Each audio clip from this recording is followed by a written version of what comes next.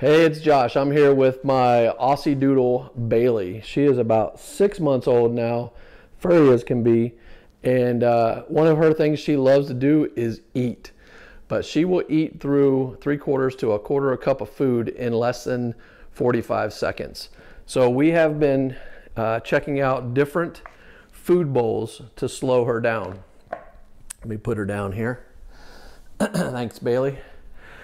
So this brand, Whippy, reached out to me and offered to send us two different sizes to talk about this Vortex uh, feeding bowl. And these things have slowed her eating down to about uh, three and a half to four minutes. So actually took her longer to eat out of the small one than the large one. I don't know if the food spread out differently, but obviously um, it looks like the the food sizes, it'll handle the same regardless. Uh, it says that it works well for both uh, wet and dry food. We've only used dry food.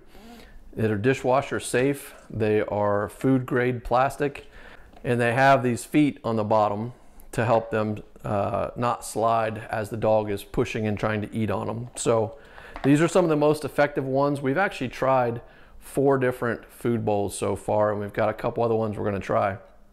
Both ones that we bought and that have been offered to us since uh, some of the brands have found out that we have dogs, but or have a dog.